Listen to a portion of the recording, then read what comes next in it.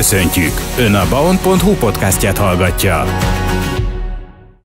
Kedves hallgatóink, Magyarország legnagyobb csillagászati program sorozatáról fogunk most beszélgetni. Ez az egy hét a csillagok alatt, ami augusztus 3 és 13-a között zajlik, és az esemény főszervezője itt van velünk a vonal túlsó végén, dr. Barna Barnabás. Üdvözlöm, jó napot kívánok!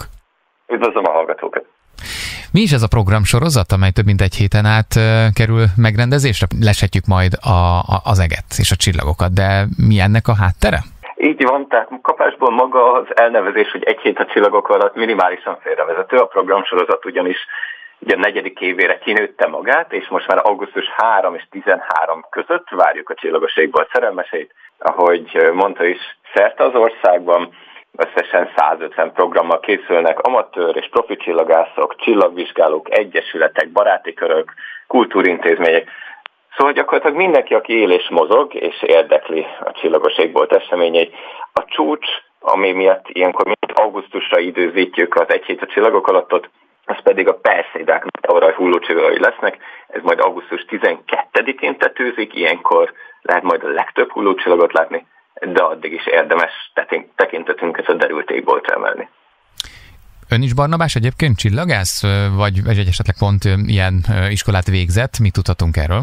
Én, én a lehető leg, szó legszorosabb értelmében csillagász vagyok, tehát nekem a diplomámon is asztrofizikus szerepel kutató csillagászként dolgozom, és a maga bemutatózás, az ismeretteresztés az gyakorlatilag egy, egy hobbi, egy szerelem a számomra, mint ahogy nagyon-nagyon sok más kollégám számára is.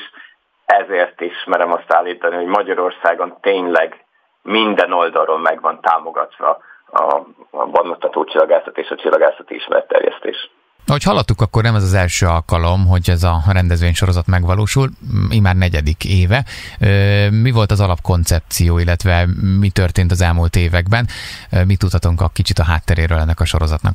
2020-ban elkezdtük barátom és kollégámmal Ordasi Andrással, akkor ez a szó lehető legpozitívabb értelmében egy igazi amatőr civil kezdeményezés volt.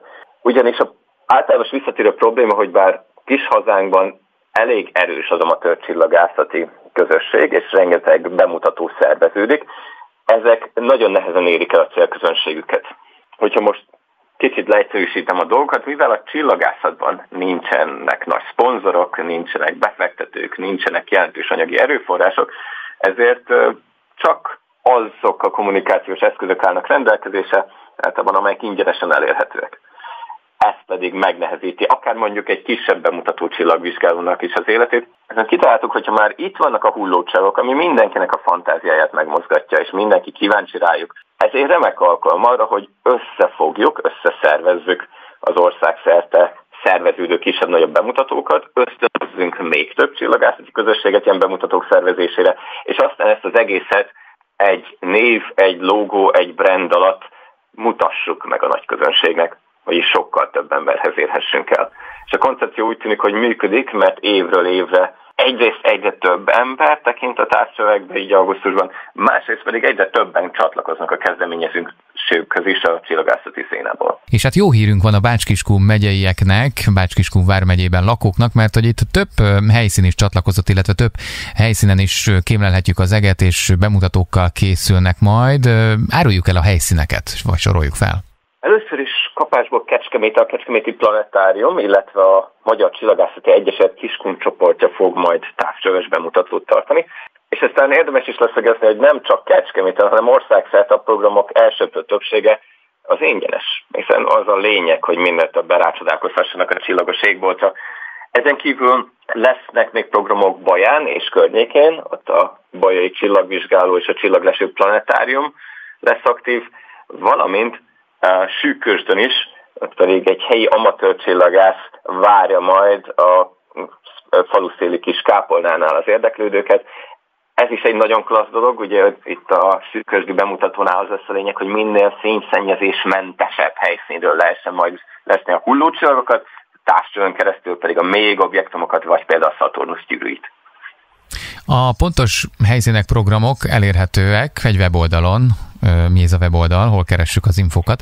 Igen, most már szerencsére eljutottunk így a negyedik évre, és volt annyi kapacitásunk és erőforrásunk, hogy az egy hét a csillagok alatt.hu oldalt összehozzuk, ezen elérhető nem csak a Bács-Kiskun megyei programok, hanem minden. Tehát az mind a 150 esemény helyszíne, időpontja, részletei, szervező, kontaktok, ha belépője egy regisztráció szükséges, az is fel van tüntetve.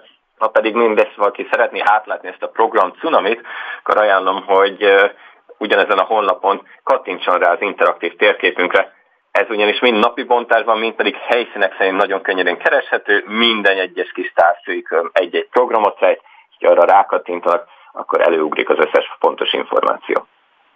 Mit tudhatunk még arról, hogy aki mondjuk otthon saját szemével, vagy akár saját területén, kertjében szeretné nézni a csillagokat, akkor erre is van lehetőség, igaz? Igazából láthatjuk ezeket szabad szemmel is, de ugye a helyszíneken mondjuk segítségünkre van a távcső, meg, meg, meg kapunk információkat is, de akár otthon szabad szemmel is láthatjuk majd a hullócsillagokat, ha jól figyelünk? Ez abszolút így van, és igazából maguk a távcsöves bemutatók azok inkább csak kísérik a perszeidák hullócsillagait.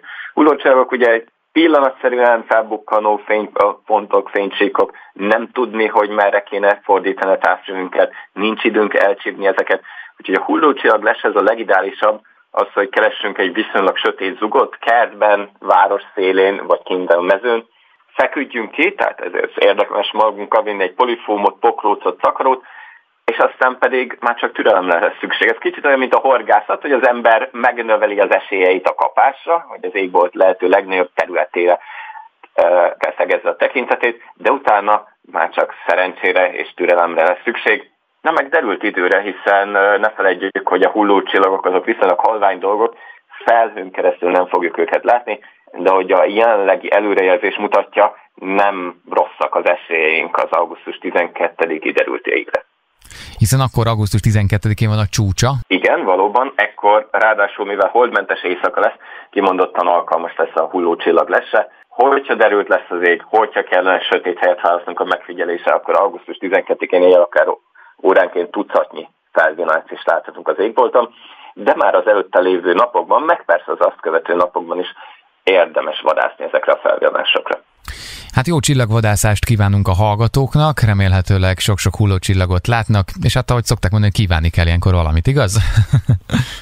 Igen, nekem még sose jött be, de ezt ne tántorítson senkit, ez egy nagyon szép hagyomány. Mint ahogy az is, hogy ez közösségben érdemes nézni. Szóval, hogyha valaki nem is csatlakozik az eseményeinkhez, ajánlom, hogy hívjon át barátokat, családot, ismerősöket, mert a csillagos égboltra közösen érdemes rácsodálkozni. Barnabás, köszönöm szépen, hogy itt volt és beszélgethettünk az Egy hét a csillagok alatt program sorozatról, ahogyan említettük, Magyarország legnagyobb csillagászati program sorozata, tehát elkezdődött, hát hogy hallhatták augusztus 12-én, mindenképpen nézzük az eget, akkor talán biztosan legalább egy hullócsillagot sikerül, remélem nekem is levadászni majd a szememmel. Köszönöm szépen, hogy itt volt. Köszönöm